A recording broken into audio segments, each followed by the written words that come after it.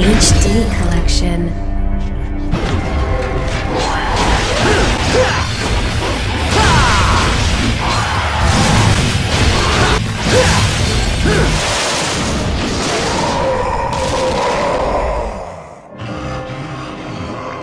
Get over with in 10 minutes. Can't let a single one of those suckers live. Five minutes. More than enough. Yeah! What's next?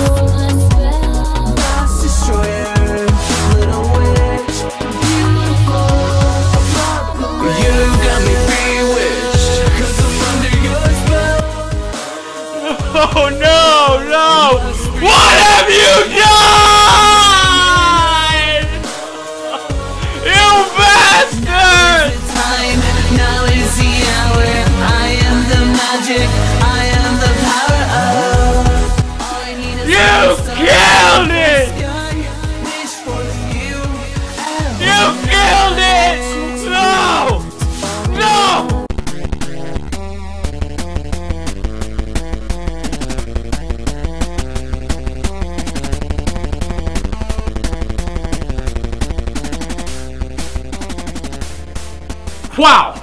Okay. So you got a bunch of people bitching on forums, pretty pissed off regarding DMC. I mean, an invasion on Metacritic. The user score is at 3.5. It started at 2.7. You got me bewitched.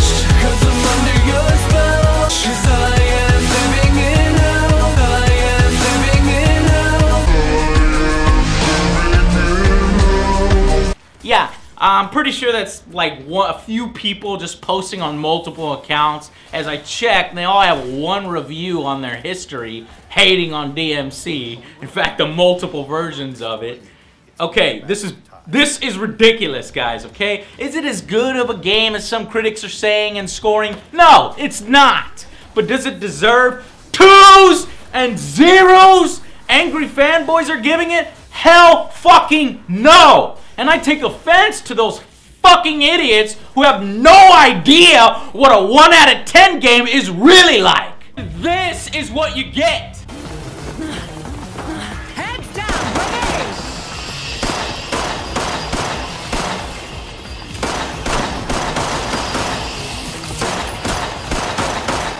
Watch out! Grenade!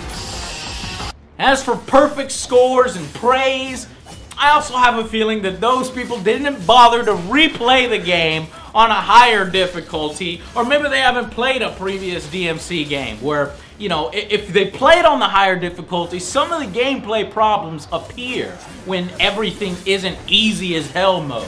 So obviously, you got to talk about the controversy, okay? When you got a new art team, talented, and you come up with a new concept for the way an iconic character will look, you always run the risk of angering your fan base and alienating your fans. You could leave the character looking the same, which it probably would have been awesome if they did, but then it wouldn't really be a reboot, would it? No. So they want to make their mark on the franchise and still make people happy with the new design. But you have to keep in mind, whatever you make, it's only going to please a percentage of the people, not all of them. But how many? 70, 60, 40, 20%? How many do you think are pleased with his look? We may never really know, but it's a tough call. You go with whatever you think is best. However, it's my judgment that the new Dante looks stupid! My name is Dante.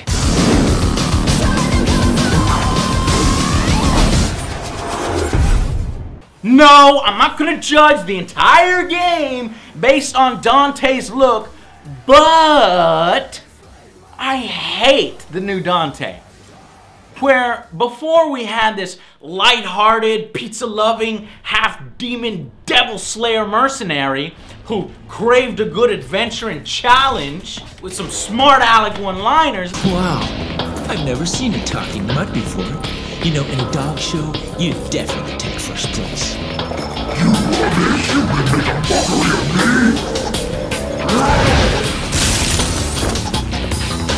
me! Easy, Fido. How about I take you out for a walk? Come on, puppy. Let's go. You'll regret this, you worm! It's showtime. Come on. Now we have a half demon, half angel, potty mouth teeny bopper I helped you back there. I didn't ask for your help.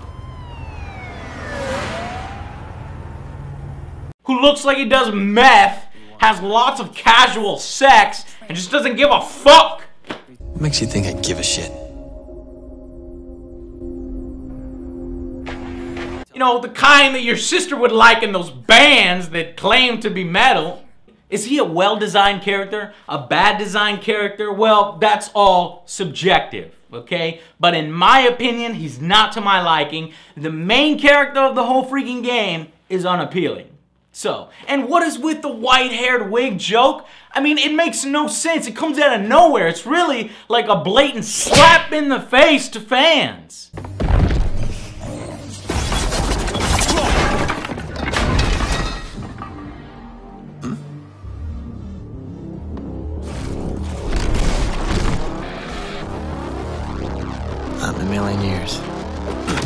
So I'm supposed to believe that a long-haired wig just happened to fly by at a devastated carnival, landing on your head perfectly, right? No! It's clearly just there to say, fuck you guys, we think the new emo Dante is better. Eat our shit. Nice, ninja. You must be a witch,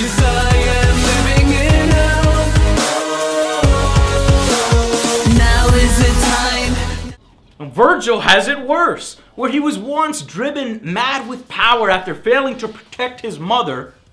He now simply thinks a, a tortured soul, maybe possibly redeemable if you could just talk to him or, or slap some sense into him. But here, he's just thinks that humanity is below him and he has zero honor an element that was crucial to making his character, this villain, a character that we can love. He shoots a female demon in the back, blasting her womb and baby bits to pieces. Then he pauses for a moment to let it sink into her head that he just shot her baby, and then shoots her in the head.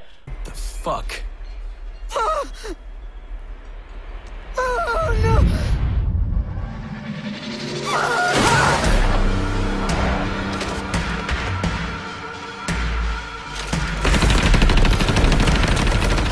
Fuck honor! But it's okay because it's a demon, right? You know, just like his father. We were a family. I will never forget what he did to her. Another new character, Kat, is completely weak and she's a half-hearted love interest for Dante. Uh, her purpose is mainly to use her spray can filled with squirrel semen. Yes, squirrel semen. Doesn't smell too good. What's in the can? A compound I created based on an old Wiccan recipe. Sea salt, shark oil, iron shavings, desiccated squirrel semen, wolf hair. Good stuff. to create bo- portals between the real world and limbo while helping Dante and Vergil. She's she's no Trish, that's for sure. I should have been the one to fill your dark soul with light. Basically, she reminds me of Lucia, just forced in there to have a female in the game, I guess. But yet she's this reason that Dante all of a sudden starts to care about humanity. I could buy that if she had more to her, but not as she's presented here. Now, Dante's look and how they handle the characters aside, how's the story and more importantly, the gameplay? Well, the story has never really been a strong point of the series. Don't bullshit me, okay? Um, and in this one, they try to modernize it by saying the demons have enslaved the populace through the media. If you see him, inform the police immediately, but do not approach him. He has a history of physical violence and is a known sexual deviant. This is Bob Barbas, just doing God's work. An idea that I think is completely possible. I mean, we've seen it repeat a lie over and over and over enough, and many idiots will believe it. And it's kind of like one of my favorite cult films, They Live, which I recommend you go out and see right now. Uh, but here it's backed up by demonic magic, subliminal messages, and uh, spiking humanity's favorite soda. There will be no further questions. Why? Hey, look! The disgusting little men are starting to sing. We've got a friendly warning for you. Grunka lunka dunka tea daces. The secret of Slurm's on a need to know basis. Shut the hell up! So there is kind of a political undertone here that's clear, okay? It's it's probably gonna piss off it piss you off if you're a Republican or if you regularly watch Fox News as it pokes fun at both. Uh, the demon anchorman Bob is clearly a parody of Bill O'Reilly. We'll do it live. Bill, where are you going? Bill, sit down. No. We'll do it live. Fuck it. Hey, hey, hey, Bill, calm down. I don't like that. Why are you Do it live. I can. I'll write it and we'll do it live. Okay, we're gonna do it live, Bill. Fuck it. Are you always this stupid, or is today just a special occasion? Fuck it. Fuck you, Bill! I mean, he even says, do it live during his freaking awesome boss battle, by the way, unlike anything I've ever seen. Ah. I'm taking you off the air. You think so? I wouldn't bet on it, you little shit.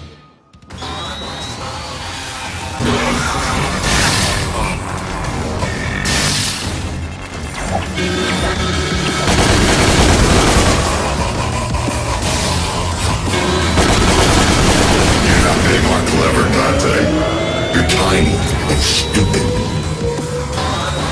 Mundus is also no longer this omnipotent demon hiding behind different forms. He's now just an evil banker who looks like Lex Luthor. I will control the world through debt. I have absolute power. The world is at last your bitch, as am I. A demon in human form that controls everything through debt. I, for one, liked the story. It's it's a different take from the previous games, but it's a reboot. Um, in the previous games, the world seemed to know already know about demons, um, and this is one change that I thought was great. It's fun, and it only lasts during this first game anyway, so the gimmick won't overstay its welcome by the end, you do feel like there's a bigger battle to wage ahead and out there. So for people complaining, the story itself doesn't bring the game down. It's just the characterization of everyone's established favorites that doesn't hold up. Nearly everyone is less likable than before. That's the problem. So, story, characters, my opinion, your opinion, yeah, whatever. Okay, what about the gameplay? That's the one thing that needed to be right here. So, how is that here? Your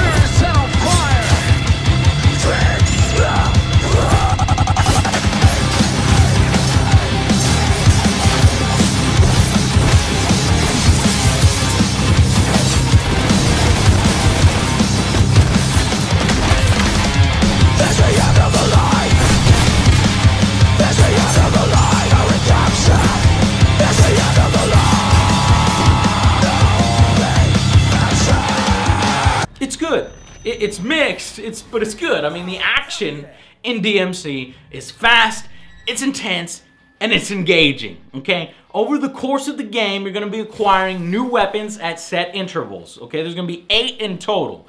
But without of the different fighting styles of past games, you're now you're now forced to play the game in a more focused and singular way.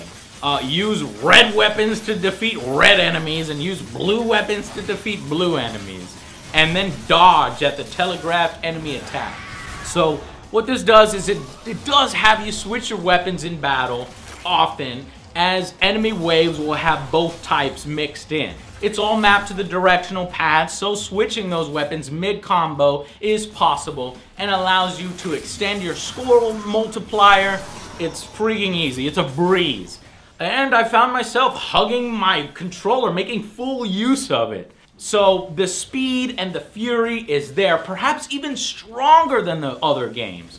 Dante moves more realistically when performing these insane combos. He appears to have natural momentum and believable transitions. So the visual flair combined with the ease of comboing makes this system ultimately fun and satisfying without the multiple fighting styles of old. This is just one that you have to try for yourself.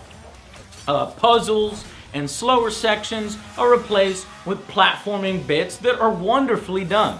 How Dante gets around makes you feel superpowered as you use either angelic or demonic hooks and claws at certain times, and in a few cases you will alternate between these uh, with precise timing to get to hard to reach places. Uh, this combined with the double jump and the angel glide makes for some entertaining sections for even people who aren't fans of platformers like myself.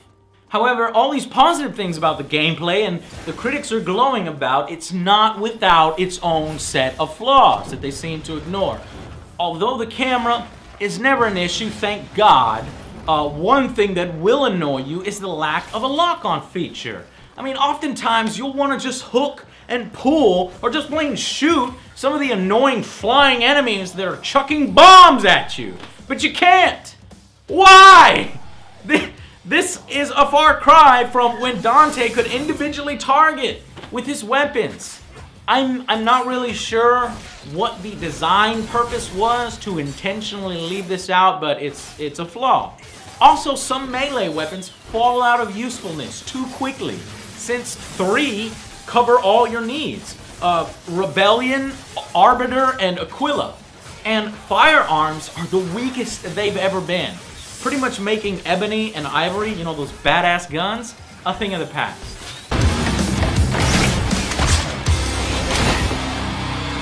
Ebony, Ivory, I miss you girls.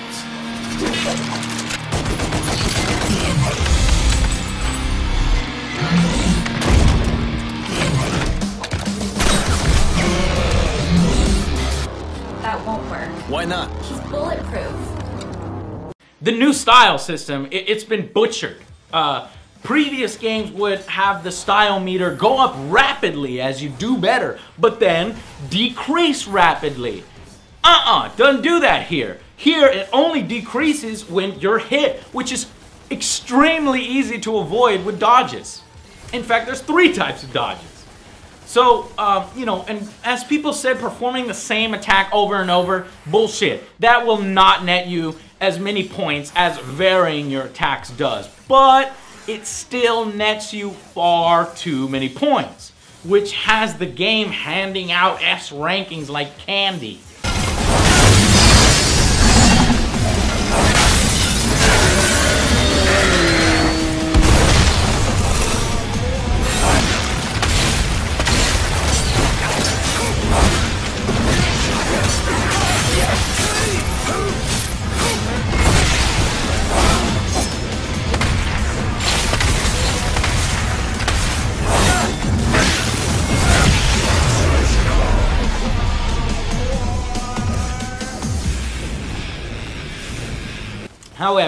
I must admit, even with that as fact, pulling off harder moves easier is a godsend to some, and that needs to be considered if you aren't normally into these types of games, or maybe you found Devil May Cry 3 or the previous games too hard.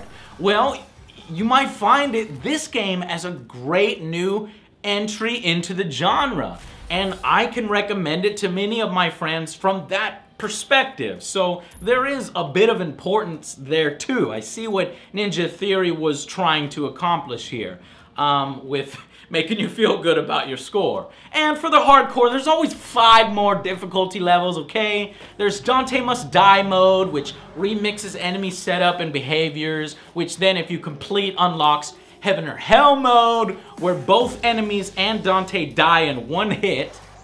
And then finally, if you somehow beat that mode, there's Hell in Hell mode, where enemies have full health and are hard, and Dante dies in just one hit which is fucking crazy. Though I'm sure some guy on YouTube has probably already done or is about to do it. Um, but for the rest of us, one or two playthroughs will be enough.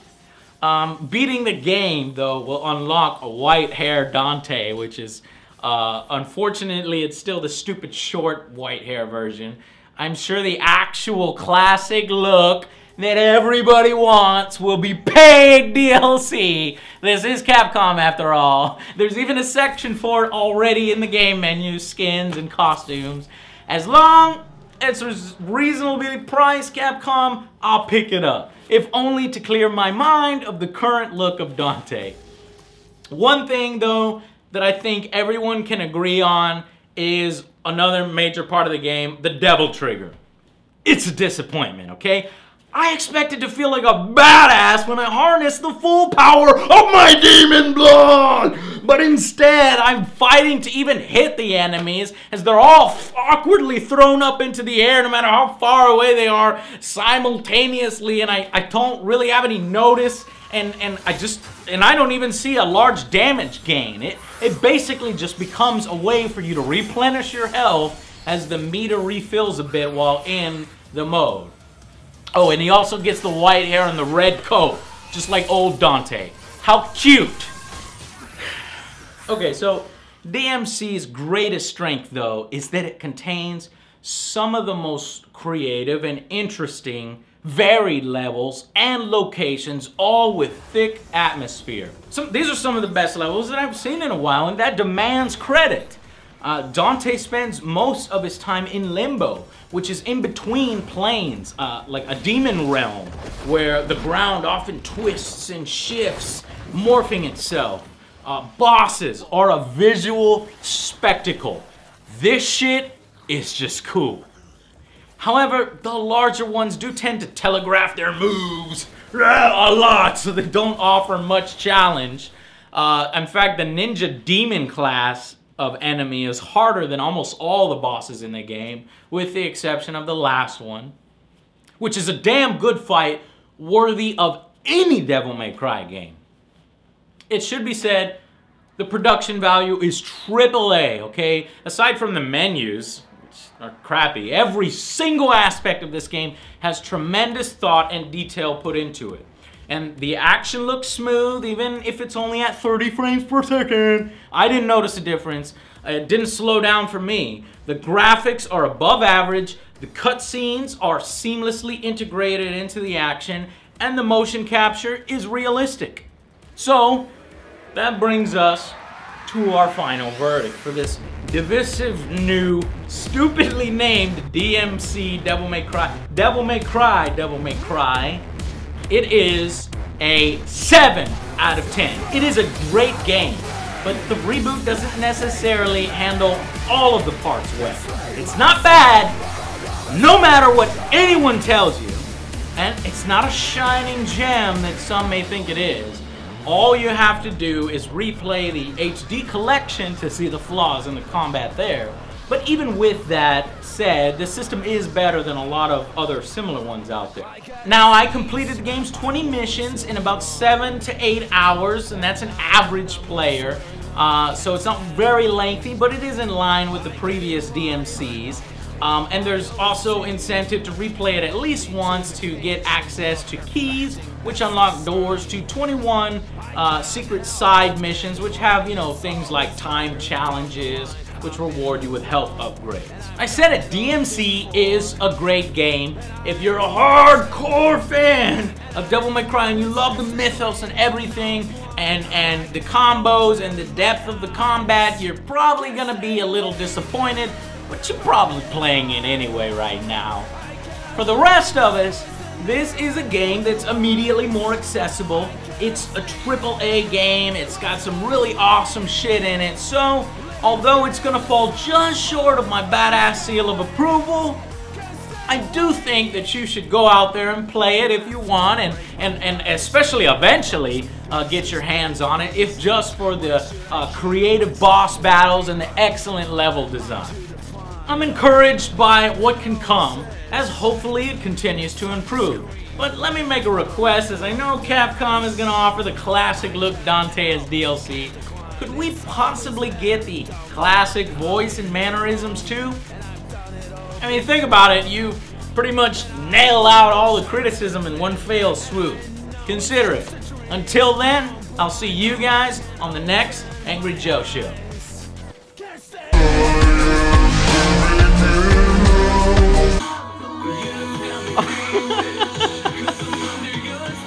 this shit is really bad.